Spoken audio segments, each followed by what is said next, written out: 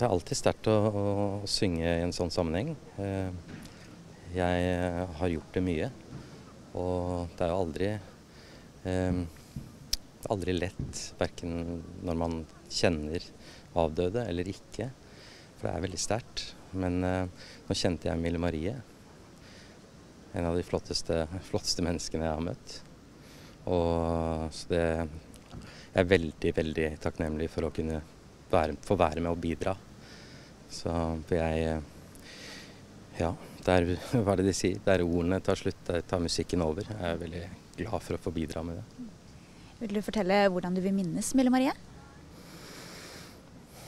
Ja, det, det, er jo egentlig veldig enkelt. Hun, hun, er som sagt en av de flotteste menneskene jeg har møtt. og uh, Hun var veldig inspirerende. Uh, inspirerende ikke minst uh, i det å, å prøve å, å, gjøre noe for de rundt den. Gjøre noe for andre. Hun gjorde veldig mye for veldig mange, og ikke minst da for oss kunstnere. og fra da et kunstnerståsted så setter jeg jo veldig veldig pris på henne for det.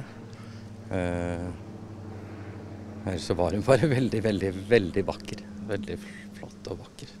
Og det er altfor tidlig.